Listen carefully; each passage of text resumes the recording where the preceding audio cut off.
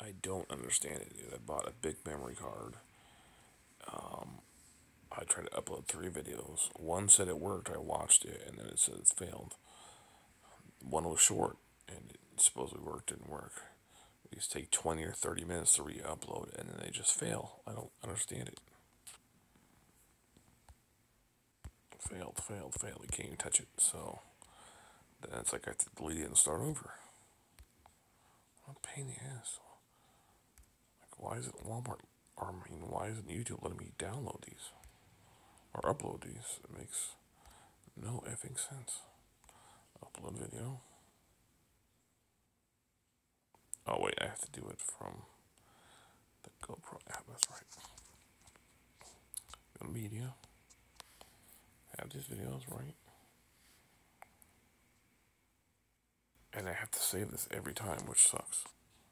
So that's the right direction. Five minutes. Hit share. Share media. And it has to save it every time. It has to prepare the video every time, which takes minutes. And then once I upload to YouTube, it takes 20 minutes, and then it doesn't work. So let's try some more time, and then I give up. Well, because my GoPro is charged. I can use the cable for my phone now that doesn't want to even upload a video. Always something. So now I got the huge memory card, the batteries, and everything, eh, but then now it's YouTube not letting me upload the videos. Gotcha. Makes perfectly no sense at all. Which just takes forever. Every time I gotta prepare the video, prepare the video. Wait 20 minutes, 30 minutes to upload on YouTube for it to say failed. So, I'm at a loss. I don't know.